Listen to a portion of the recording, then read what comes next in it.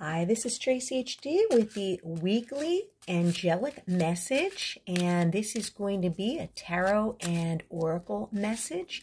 I'm using a Divine Nature Oracle deck. If you'd like to purchase this amazing deck, please click the link down below in the description box, and it will allow you to purchase it right from Amazon.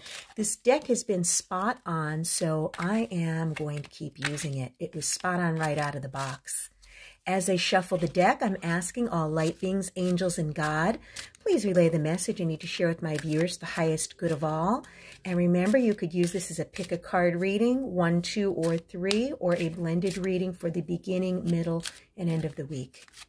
The beginning of the week, I'll take the top card. Middle of the week, or card two, will be the center card. And the card number three or end of the week is going to be the bottom card. Okay, and let's see what we have here. Let me try to uh, stand these up a bit better. Okay, card number one or the beginning of the week. We have honor the ending.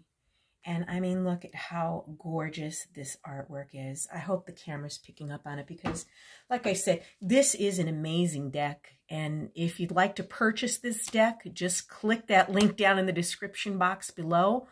I promise you, you will not be disappointed. I'm still awestruck by the entire deck and the, the meanings of these cards being spot on for me.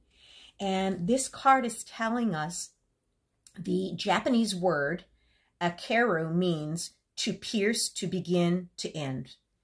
Uh, the ancient symbol from the Egyptians seems to be a perfect companion for this concept, concept as it was used as a sign of both beginnings and endings.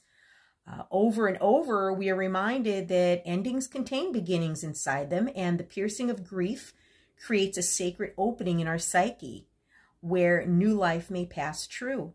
Uh, we need to mourn our endings and give the heart the space to process the loss.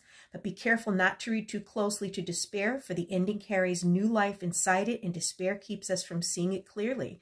So, I mean, when we have these endings, it's okay to sit for a while and embrace the feeling of the ending. But then what we need to do is we need to release it and let it go because we don't want that to be a place where we live. Okay. We don't want to sit in grief forever. Take the lesson that it taught you and move forward and leave the rest behind. It is so important. And then card number two or the middle of the week is court the divine feminine. And this first one was card 38 for those of you following numerology. And this middle one is card number 35. And this card is saying that Many of us have only witnessed the feminine as a passive, pretty performer dressed up to please. Yet the divine feminine, as she lives in you, is equal parts of power and receptivity. She's a vessel of intuition, insight, and creative wisdom. Her receptivity to all of life keeps the balance of give and take nature intact. Let her guide you to openness, sensitivity, and deep knowing. Hers is the vision that allows you to conceive the most true and beautiful version of your life. She's inviting you to stop your endless doing, striving, and achieving long enough to sense what is possible and wise for you beyond your to-do list and obligation. So this is telling us to slow down. She's in a meditation pose. Some of you may need to meditate, okay, and embrace your inner feminine.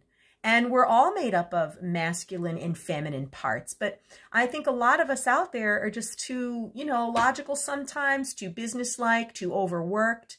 And this is telling you to embrace your gentle side. And then card number three, or the end of the week, is a repeat card. We had this card, I believe, was it last week? Either as a daily or was it in the weekly reading, but this is a familiar card. I noticed it as soon as I turned it over, and it's beautiful. And again, she looks like she's sitting in meditation as well.